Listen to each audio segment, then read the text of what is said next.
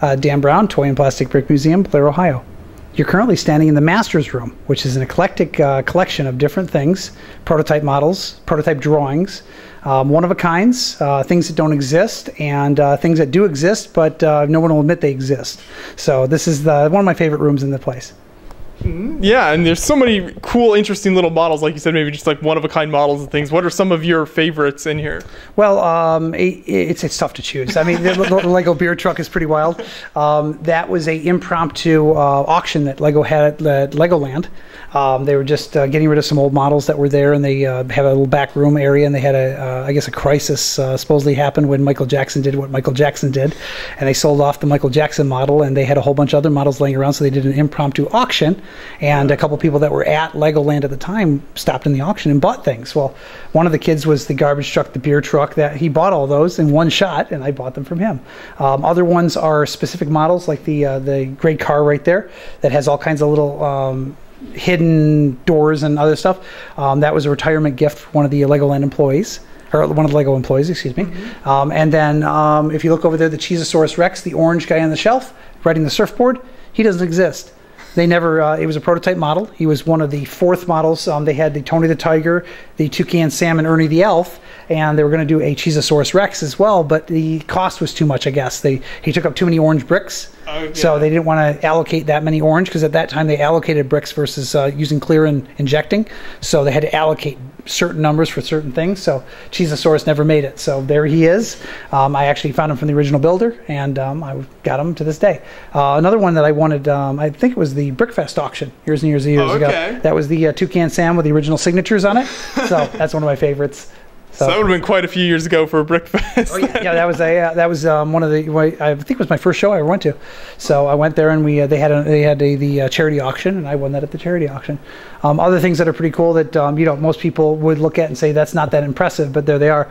Those are all prototype models for different uh, displays. Um, they were all sitting in uh, a master builder's um, room over at uh, Enfield, Connecticut and I was able to get them from each different uh, master builder because they had different things, and I was able to meet them. And I, of course, you know, being the collector that I am, I asked for different things.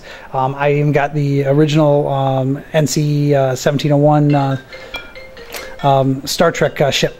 So I was able to get that from one of his desks before before they had the uh, the poo attack. I guess they uh, they had a, a, broken pipe that came in and uh, turned around and took out oh. the master builder's thing. So, but some of the models were saved because they were actually here. So I feel good about that.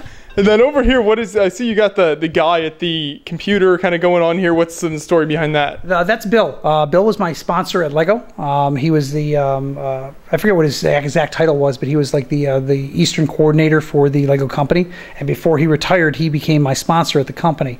Uh, when you do a project like mine, um, they uh, turn around and they assign you a person. Um, basically, he's your liaison that uh, has helps you get things done.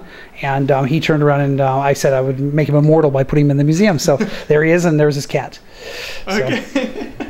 So yeah, you got his whole setup there, even the Lego built desk and everything there. Yep, uh, that that was kind of fun. We couldn't fit his knees underneath it, so um, that was actually a desk built by a college student that wanted to have a Lego desk in his uh, college dorm room. So when he came in here, the guy helped me. We actually lifted up and we were able to build underneath it to get it high enough to be able to put uh, Bill's knees underneath it. Mm-hmm. But uh, yeah, so uh, we we've got just an eclectic, uh, you know, design build scenario, and this was the room that kind of came in and went, okay, what do we do with all our prototype models, like the Man on the Moon? That's a prototype model. The um, drawings that we had from the band, we found them when we got the band. They were stuck in a drawer inside the band, so everything uh, went well with that. And we turned around and put it in this room. So this is one of my favorites because it's just kind of a whatever type room. It doesn't really have a theme, except uh, the lack of theme is the theme. So. mm-hmm. And uh, you know, speaking of other kind of unique things over here, you've got I see in all these little pockets here, you've got some old. So there's a Brickfest 2006 brick. You've got a you know Brick Fair 2008. Was that the event kit there? Yeah, that was the event okay. kit. Um, a, a, different uh, the cube cube guys, uh, the um, brick cubes. So we got them. Um, a original um, basketball players. Lego Sports. We got mm-hmm. uh, you know, one of each one of them. Um, these were the models that I got when I went into the back room over at Legoland California, where I was over there picking up models. Uh, they had uh, damaged and uh, pulled items. When kids get into things, they pull them. And I got a couple of park benches and uh, a minifigure. It's just you know different things that I enjoyed. And uh, as a collector, you know it's kind of fun to get things that don't exist or one of a kinds that are just kind of bizarre and weird and wild.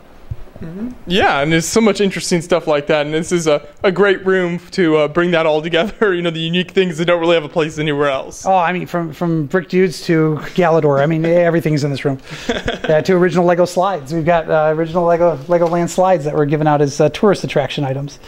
Oh, okay. So you could kind of take, you know, something to take home then as a, yeah. Yep. So you know, we we got you know, you name it, we got it, and it was one of those things where if it didn't fit somewhere else, here it is.